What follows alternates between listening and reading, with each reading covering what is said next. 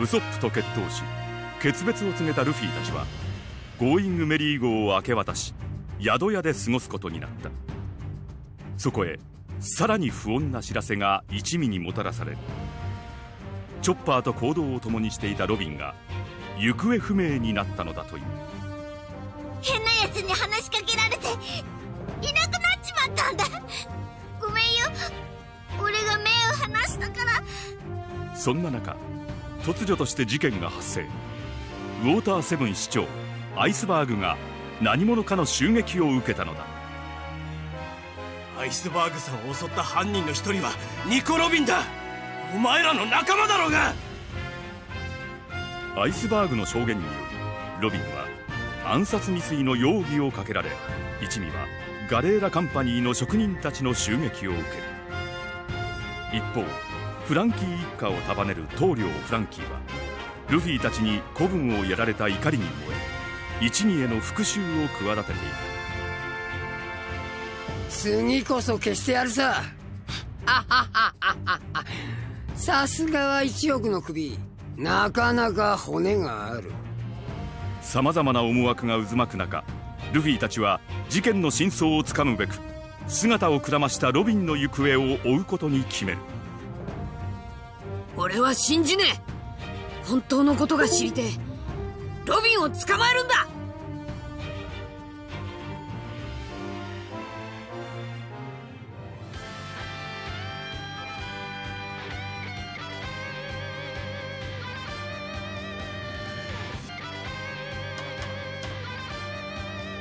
ぼちぼち時間だ。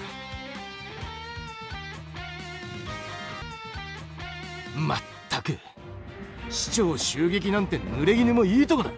早くロビンちゃんを見つけねえとな。クンクン。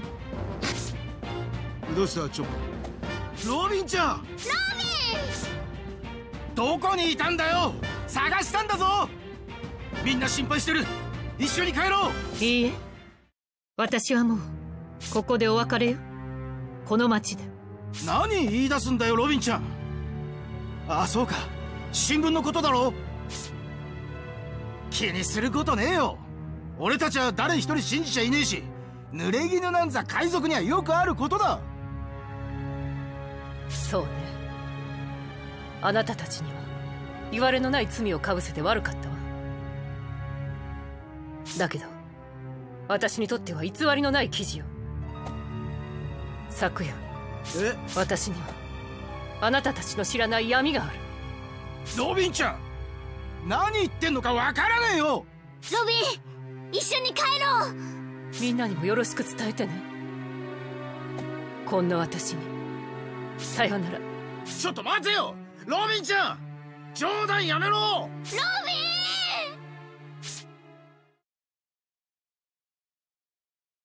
さっきロビンちゃんが言ったことルフィたちに伝えに行くぞ。ガレーラの職人どもがうようよしてやがる。ロビンは俺たちが嫌いになったのかな？チョッパー。一つ覚えとけ。女の嘘は。許すのが男だ。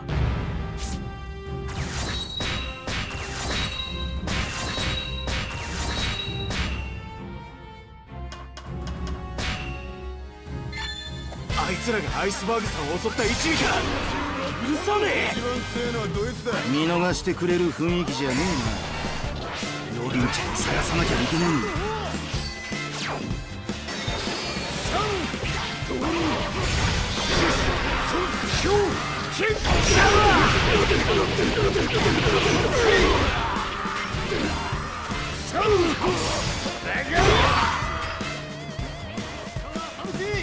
アイスバーグさんは麦わらの一味目畜生ロビンを捕まえるんだじゃなきゃ何もわからねえよなこ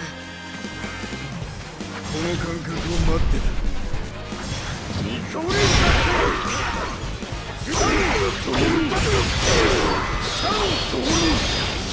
ビン本人が認めてんだあいつがアイスバーグを襲ったのは間違いねえならロビンはもう一度アイスバーグそこを捕まえるぞ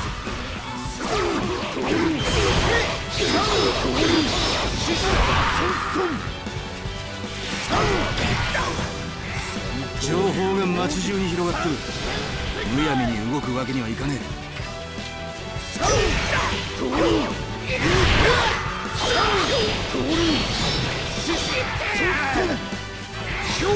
造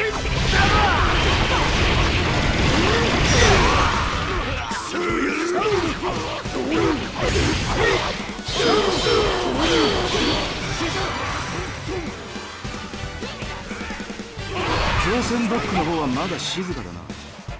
あそこで情報を集めてみよう。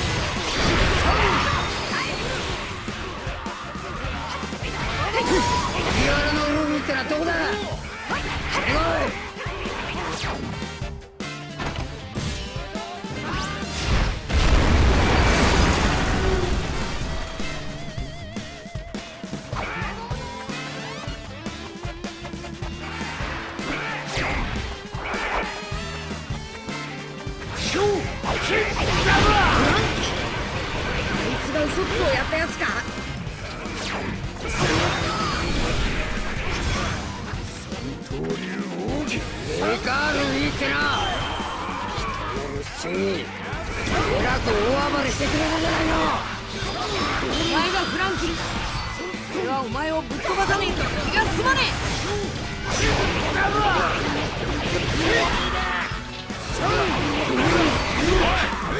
当選ブックの方が騒がしいぞ人を集めろ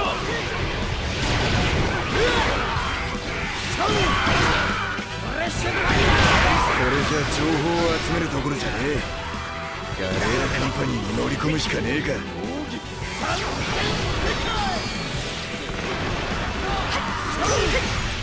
きなり乗り込むには守りが硬すぎる。騒ぎを起こして職人たちを引きつけるんだ。フランキーとかいう野郎がやったみてえに目立つものを破壊すれば注意をしてる。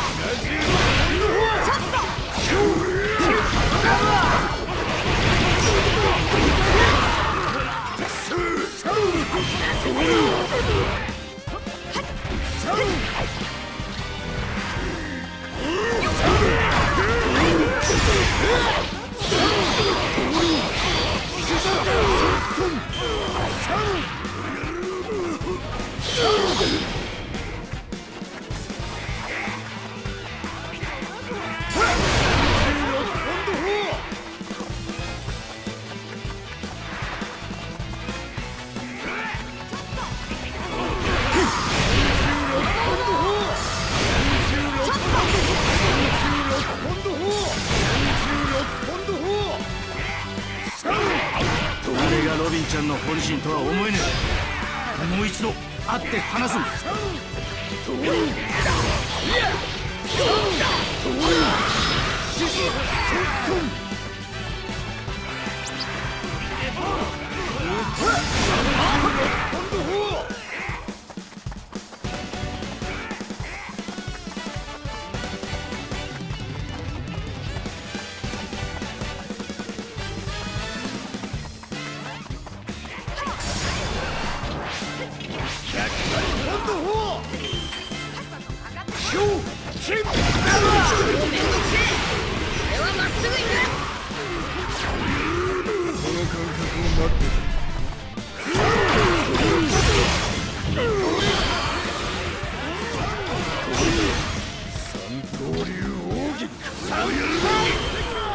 作戦なんて聞いてくれないわよね。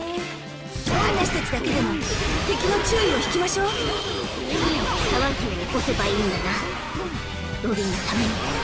俺も頑張るぞ。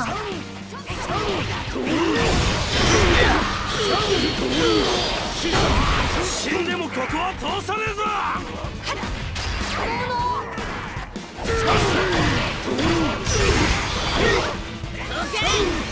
邪魔すんな Oh!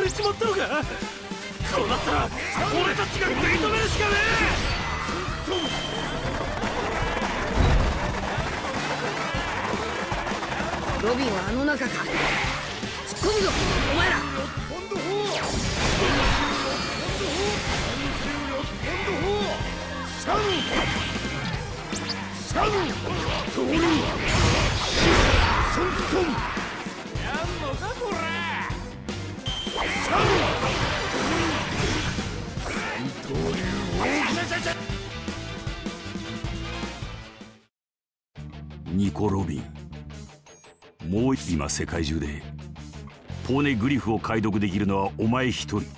なぜあなたがポーネグリフの存在を？それに兵器のことまで。俺は古代兵器プルトンの設計図を持っている。あなたは私の何を知っているの？世界政府の手で。私の人生が。それほどキラー政府にじゃあなぜ加担する？全てを捨てても叶えたい。願いがあるからよ。願い？私を除く。麦わらの一味の6人が無事にこの島を出港すること。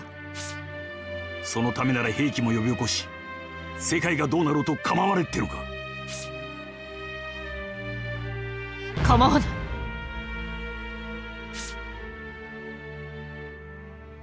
古代兵器プルトンの設計図そのありか。なお前ら。そう。我々はサイファーポールナンバーナイン。潜伏など造作もない任務。話を続けましょう。設計図のありかについて思慮深いあなたは自分が殺される可能性を考えてここで興味深い事実がある。かつてこの島にはトムという名の兄弟子はあなたで弟弟子はカーティー・フラムという男だ。だが弟弟子は生きていた。フランキーと名を変えてあくまで仮説だったが。うりゃ邪魔を。麦わらのルフィわざわざ罪をかぶりに来てくれたの。お前船大工のわけわかんねえが。ロビ悪いが我々は急いでいる。ブルーノ相手をしろ。あさっさとかかってこい。この感覚を待ってた。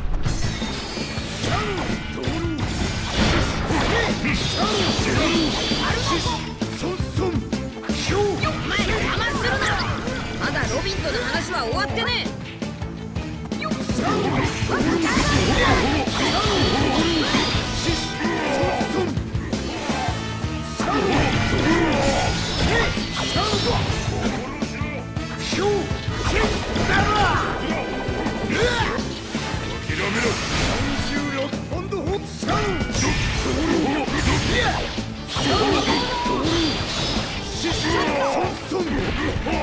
んでこいつらこんなに体硬えんだ？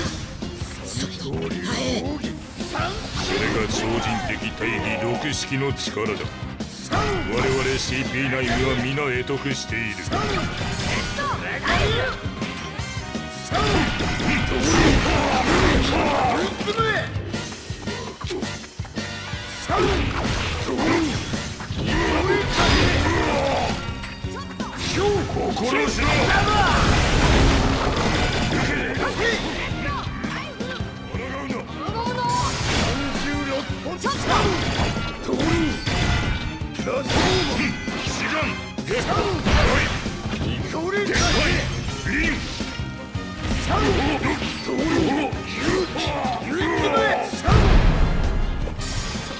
が済んだか。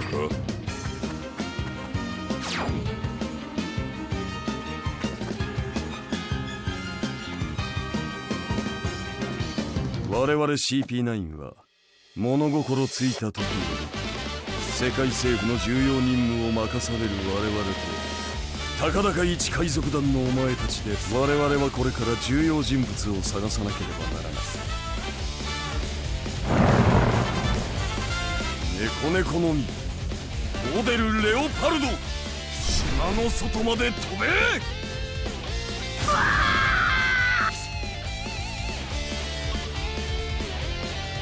行くぞ。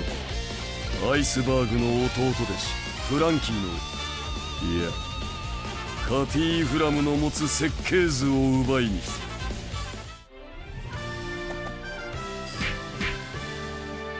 いいじゃねえか。